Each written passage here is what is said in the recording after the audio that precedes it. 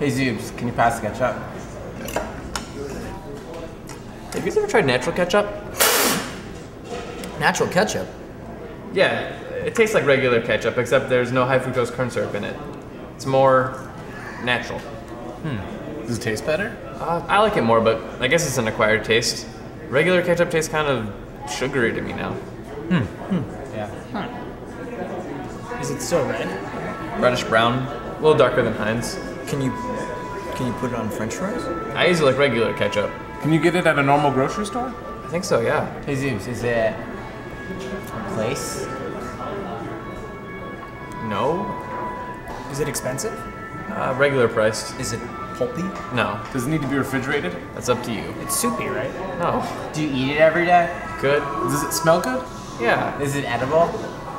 Yes. Is it smaller than a bread box? Um, I guess it depends Yes on or no? Uh, yes. Is it all natural? yes. Is it a condiment? yes. Is it mustard? no, 18. Is it uh, organic relish? no, 19. Is it natural ketchup? Yeah!